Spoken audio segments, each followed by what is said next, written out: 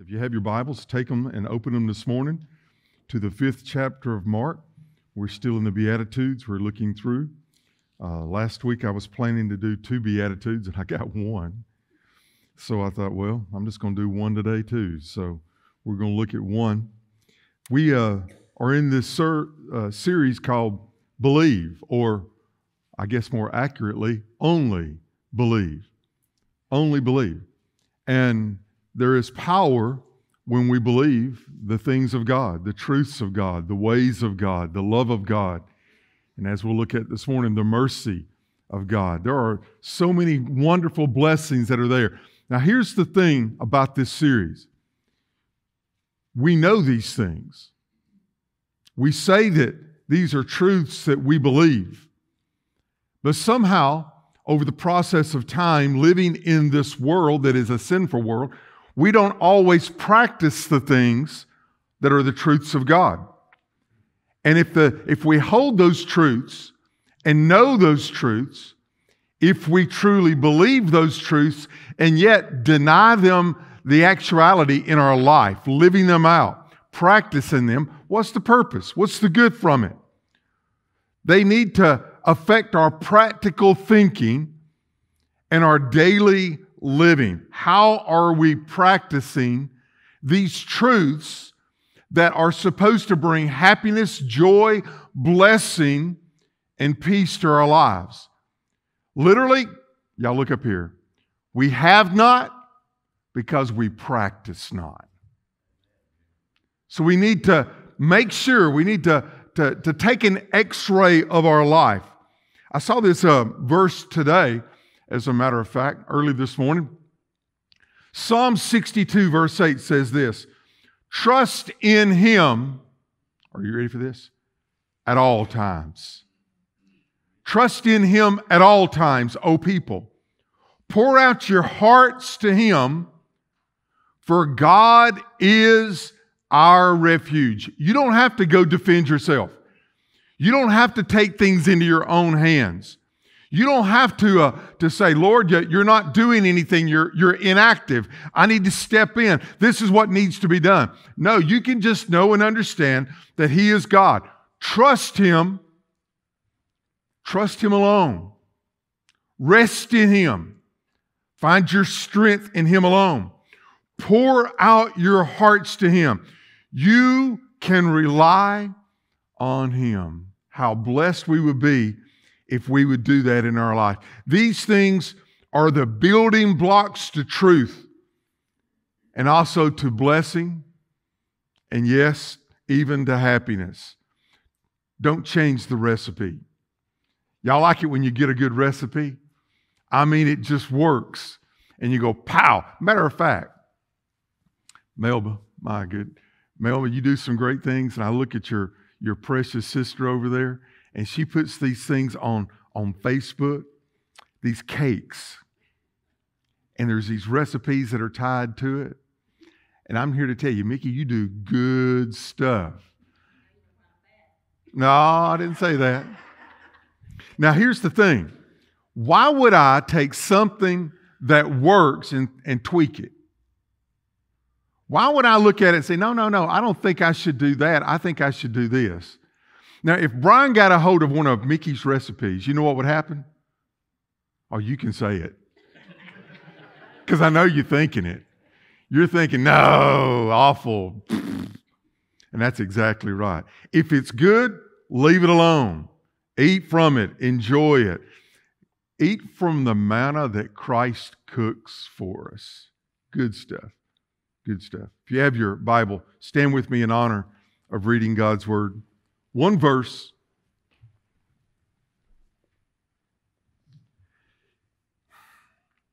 Not always easy to practice.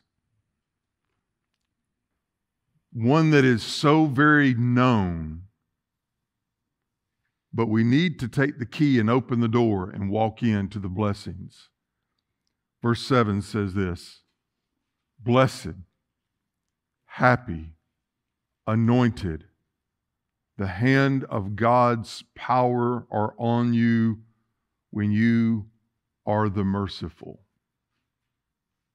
Now, there's a key to this. Blessed are the merciful, for they shall obtain mercy. Anybody in here good with wanting mercy in your own life? Well, there's a recipe for it, and let's find it in Him today. Let's pray. Teach us to pray, O Lord. Teach us to come and walk into your presence, to give you the praise that you deserve, to pour out our life before you every day, to pour out our circumstances, to ask for your help. Lord, we need wisdom, and your truths are there for us.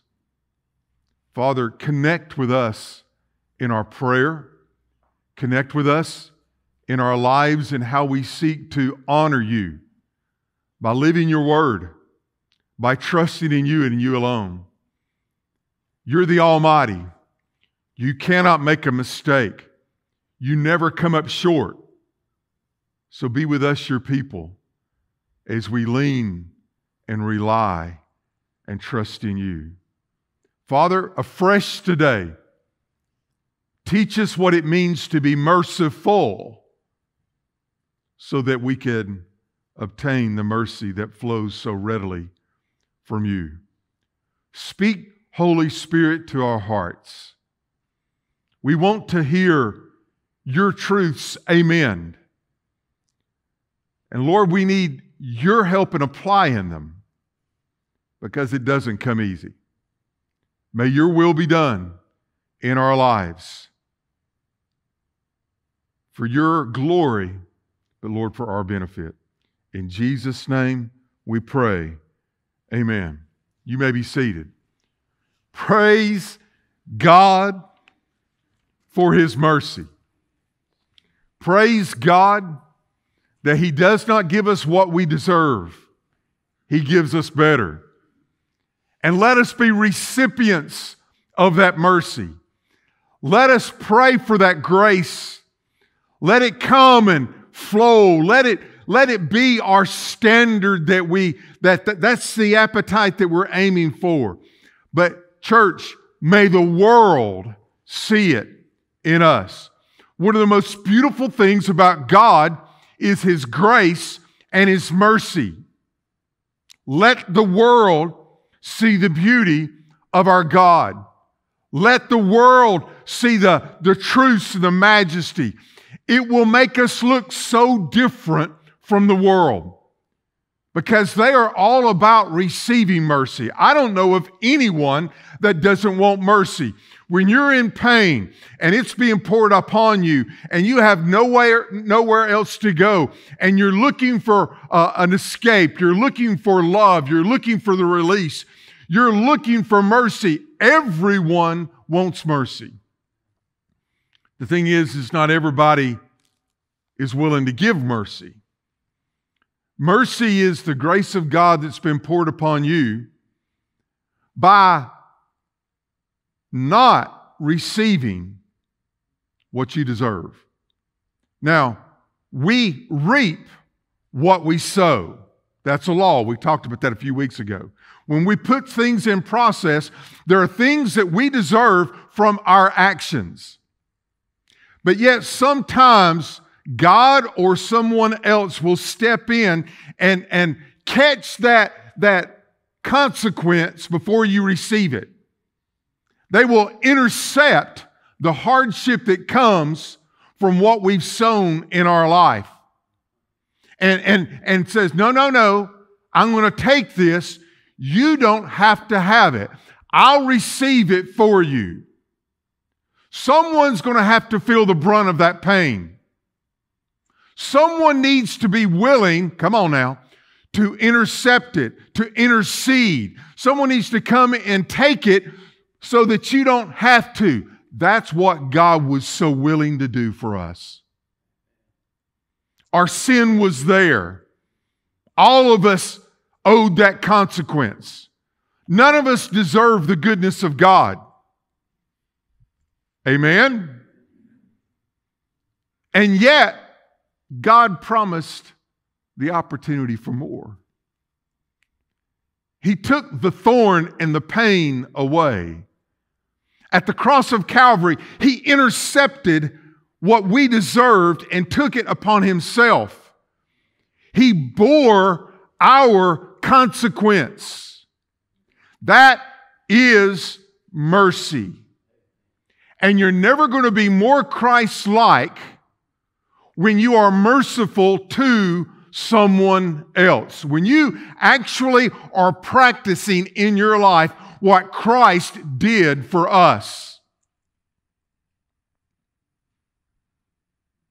Mercy lived out every day.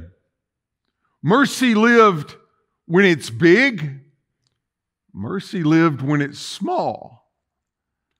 Mercy lived when it's hard. Mercy lived when it's easy. Mercy that is given, come on now, as a gift of love for someone else. Not what they deserve. That's not the story. Someone wants to say, no, no, no, but, but they deserve this. You, Pastor, you don't know what they did to me. Right? Well, you don't know what I did to Christ. And I don't know all the things that you did that he had to pay for. But aren't we all grateful that he did? Right? It's not a matter of if we need mercy, it's if we're willing to give it. That's what it's all about. We need to be a person. I wrote this down in my notes because I, I, I know it's blunt, but I want you to hear this who habitually is a giver of mercy. I use that word because I want us to be, cre- create a habit of being merciful. I want it to be our first reaction. I want it to flow so easily from us that, that it, people, when they see us, they will say, That is a merciful person. I'm just not too sure that we want this attribute. We think that we'll be seen as weak. We'll be a doormat. People just run over us. Matter of fact, I hear all the time people brag about the fact, well, if they do that to us, they don't know what's coming. They think they're going to get this, they're going to they're going to get something, all right. I'll make sure that they get something. People brag about that. Shake your head if you know what I'm talking about. And, and really, it all comes from judging. We look at it. I'll even give you this point. We may even be rightfully judging, but that doesn't matter. it doesn't matter. I was rightfully a sinner when Jesus forgave me, right? And we say, we say, well, I'm weak if I let them get by with it. I'm not going to let them get by with it. They're not going to run over me. That is the definition of mercy, is being willing to give mercy even when it's hard. God wants us to give mercy. God wants us to give mercy. If you have your Bible, um, look over in the Gospel of Luke in chapter number 18. Luke chapter number 18. I love this story. it's kind of hard, but I love this story. Are you there? Say amen. Luke 18, verse number 9. Jesus spoke this parable to some who trusted in themselves that they were righteous and despised others. Here's the parable Jesus gave. Two men went up to the temple to pray, one a Pharisee, the other a tax collector. The Pharisee stood and prayed thus with himself God, I thank you that I'm not like other men. Boy, doesn't that sound presumptuous? I am so grateful, Lord, that I'm not like them extortioners, unjust, adulterers. And then he looks at someone and judges them and says, or even as this tax collector. Now he's going to tell you why, how, why he's so good. I fast twice a week. I give tithe of all that I possess.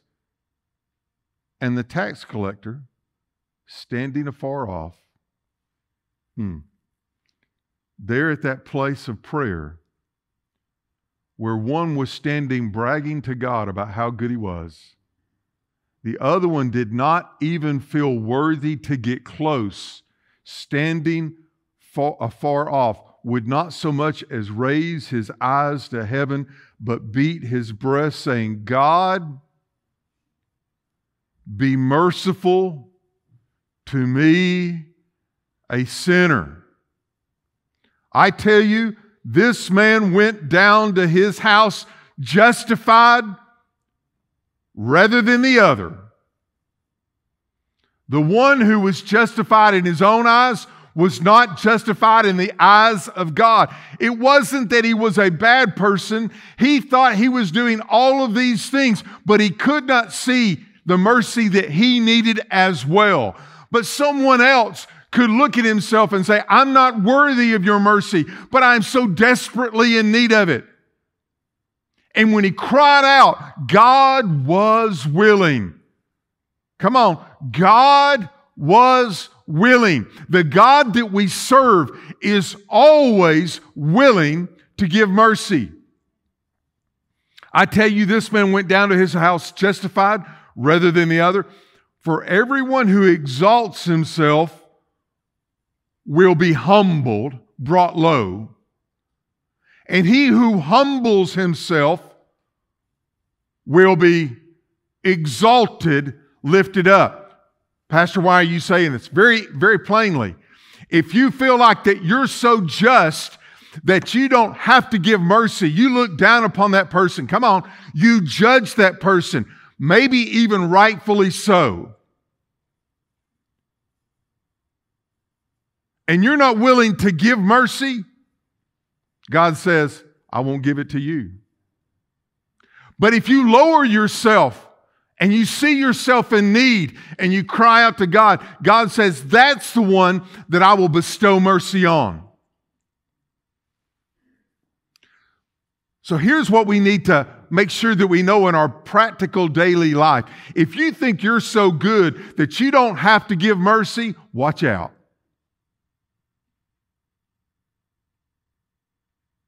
It's not a matter of if someone's done wrong. But if you're quicker to judge and critique and criticize and blame and gossip, because all these things flow from it. Be very careful. When you're raising yourself up, God will make sure you get lowered down. But if you lower yourself, God not only will give mercy to you, He will make it abound in you. This is one of Christ's Beatitudes. Blessed, happy, anointed is the one who is bestowing mercy. Jesus was doing the right thing because he was one who bestowed mercy. We need to be like him. Listen, somebody's going to always be putting us down. We're supposed to be running the race. Is that correct? It's not going to be easy. And you might as well come to know the fact that there will be people who will cheer you on and some that will give jeers as well. I heard someone this past week see that when, when someone praises you, do it like chewing gum. Chew on it for a while, but don't swallow it. Amen? I mean, chew on it, but then let it go. Let it go. But there's always going to be somebody that's going to be critiquing. You will face disappointment you will face disapproval. I don't care who you are. We all have critics, some of us more than others. Have y'all ever heard me say this before?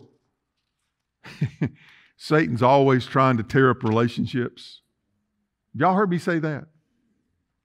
Satan's always attacking relationships and he's pretty good at it. Don't let him. Don't take the bait. He comes and wants us to, he wants to divide us. He wants to say, look at that person. Look at, look at that area in their life and how ugly and bad it is. And if you're not careful, you will critique and criticize. But what we all need is someone to encourage us, to bless us, and from their own personal understanding, not give them what they deserve. Give them better. Give them love. Don't you think that they need it? Don't you think that they need it? Take your Bible, look in Matthew 18. Y'all are listening fast today. I like that. Matthew 18, verse number 23.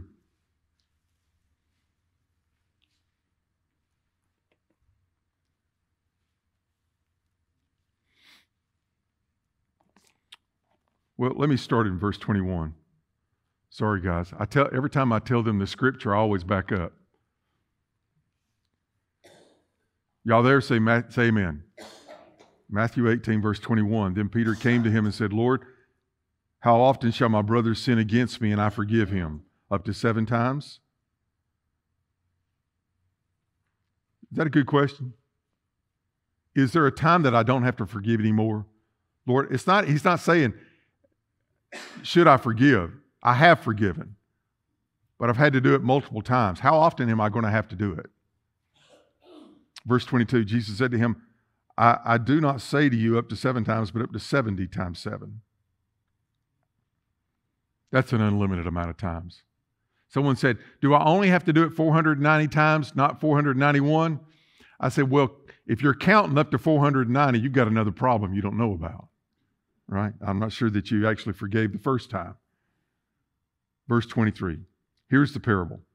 Therefore, the kingdom of heaven is like a certain king who wanted to settle accounts with his servants. When he had begun to settle accounts, one was brought to him who owed him 10,000 talents. Preacher, how much is that? An unpayable debt. There's no way it could be paid. Verse 25. But as he was not able to pay, his master commanded that he be sold with his wife and children and all that he had, and that payment be made. That's what he deserved rightfully deserved. He had a debt. Nobody can question that. It should be paid. That's right. We understand that. Verse 26. The servant therefore fell down before him, saying, Master, have patience with me, and I will pay you all. I appreciate his heart, but it was an unpayable debt.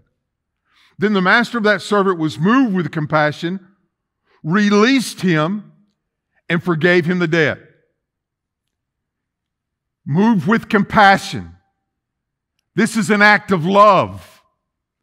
This is a wonderful thing that we're seeing here. And because there was love, he let him go and he forgave the debt. That's a, that's a shout, glory, hallelujah moment. The debt has been taken off, the burden has been released. You have been set free, no longer to be held by it. Verse 28. There's that ugly word that we see in Scripture, but. But that servant went out and found one of his fellow servants who owed him a hundred denarii, pocket change. He laid hands on him, took him, by the throat. This is not compassion. Would y'all agree with that? I mean, the one that he had the unbelievable debt to had compassion on him. Once again, this is a debt. It's a small debt, but it is still a debt. But the way that he comes to it is not in compassion. He's got this guy by the throat and says, Pay me what you owe. Should the person have paid him? Sure. Sure. But this person is showing no mercy whatsoever.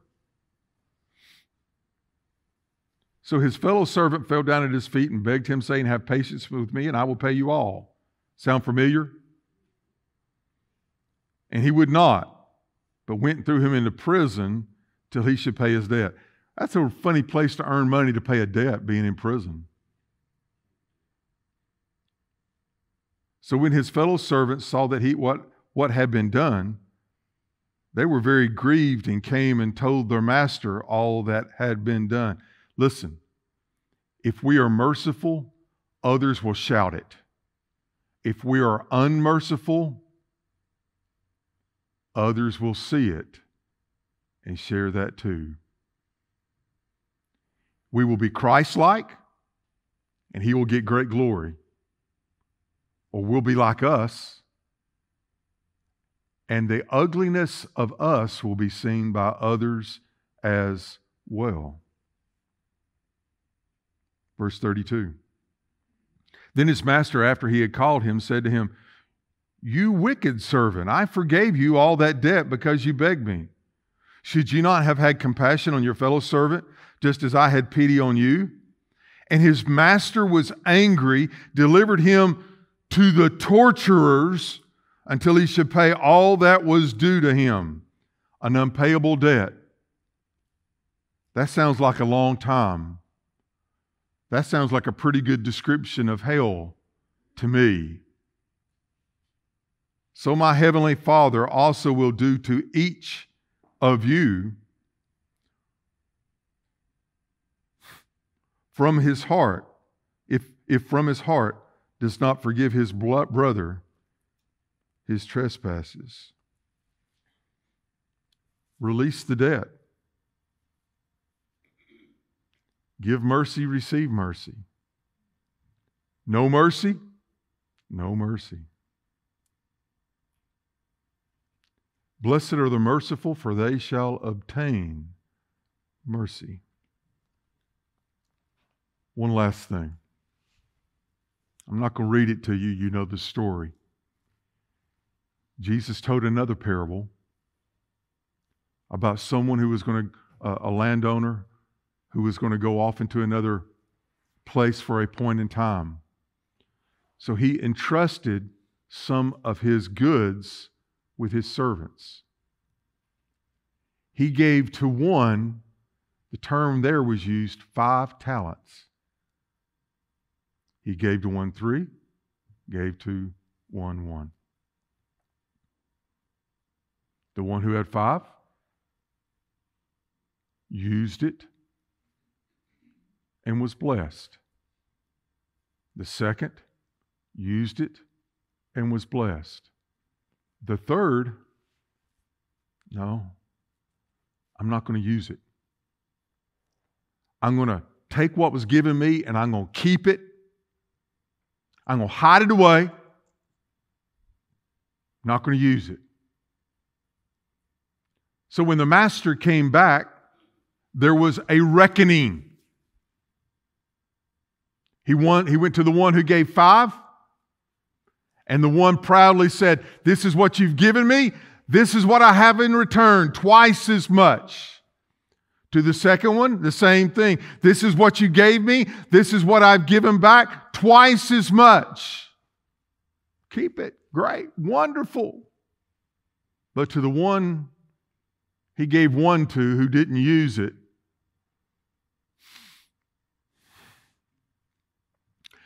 I knew you to be a hard person. I was afraid. I didn't use it. And the master was disappointed. Here's the point to the ones who took the, the gifting, to the ones who took the talents, to the ones who took what came from the master and used it the way he wanted it to be used, it was multiplied and they received from it. They received the increase. But to the one who had that entrusted to them, who could have used it in the same manner, but they said, No, I will not use it. Even what he had was taken from him. And what was more important, the master says, wicked servant. Now let's apply it here. If God has given us mercy, and He has told us to take that mercy and use it in the same manner that we've received it, to use it, it will be multiplied. And that's a God thing, that's a good thing. Blessed are the merciful, for they shall obtain mercy. But understand, if you receive God's mercy, but you don't act with a heart of compassion, you judge, you critique, you criticize, and it's hard and you're not willing to give it, then God will take from you that mercy. How terrible. I don't ever want God to look at me and say, wicked servant. It's not a matter of if you're going to be attacked. I'm attacked all the time. I'm critiqued all the time. I'm criticized all the time. There was a time in my life I was going through a very, very hard time. Please hear this. And my biggest critic wanted to meet with me. Matter of fact, I had invited him to meet with me. And he came in and um, he asked somebody to be with him. I'm like, absolutely. And he shared what he wanted to share with me. I learned a long time ago listen. Listen. John Bisagno, pastor First Baptist Church, Houston, Houston Texas, great man of God, he, he taught me that. He said, when, when someone has something to say, listen to them. Now, what they say may have a lot of wrong in it, but there may be a seed of truth in it. It may be 90% wrong, okay? But it may be 10% right. You can actually take someone who's going to come at you with 90% wrong, and you can actually learn from it and grow from it. I heard Rick Warren say, after 42 years of being the pastor at Saddleback in, in, in uh, I can't remember the name of the town in Southern California. He's going to leave after 42 years as pastor of that church. It's the largest church in the United States. It has an unbelievable influence. And, and, and I, I heard him say when he was talking about all the things that he went through, he said, I only grow in pain. I never grow when everything's good.